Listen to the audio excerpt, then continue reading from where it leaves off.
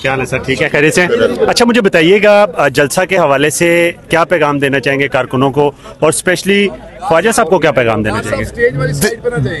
देखें जलसा के हवाले से मैं न सिर्फ़ पाकिस्तान तरीके इंसाफ के कारकुनों को बल्कि पाकिस्तान के अवाम को भी कहना चाहूँगा कि जो जो लोग ये चाहते हैं कि इमरान खान साहब जल्द अज जल्द जेल से बाहर निकलें तो फिर याद रखें उससे पहले आप सबको अपने घरों से बाहर निकलना होगा।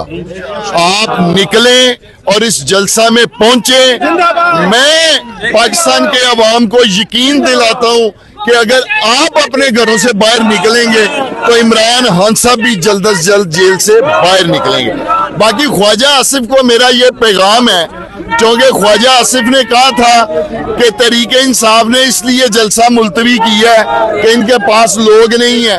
तो मैंने ख्वाजा आसिफ को कहा है कि मेरी तरफ़ से आपको दावत है, ख्वाजा आसिफ, आपने इस जलसे में आना है। और हम आपको दिखाएँगे कि तरीके इंसाफ के जलसे के लिए लोग हैं या नहीं हैं। आप आए इस जलसे में, अगर ख्वाजा आसिफ को ये अंदेशा है कि खुदा ना हास्ता उसे कोई पहचान ना ले तो ख्वाजा साहब आप बुरका पहन के आ जाएँ, खजाब करके आ जाएँ। वैसे भी हमारे जलसे में बड़ी खवातीन आई होती हैं।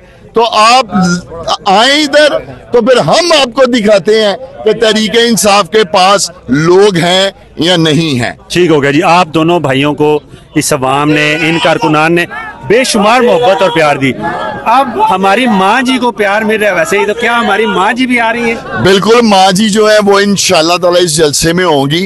गो के मेरी आज थोड़ी देर पहले उनसे बात हो रही थी उनकी तबीयत भी नासाज है लेकिन वो फिर भी कह रही थी कि मैंने हर हालात में जो है ना उम्र जलसे में पहुँचना है। और इन ताला मैं उम्मीद करता हूँ कि वो ज़रूर इधर होंगे इन ताला।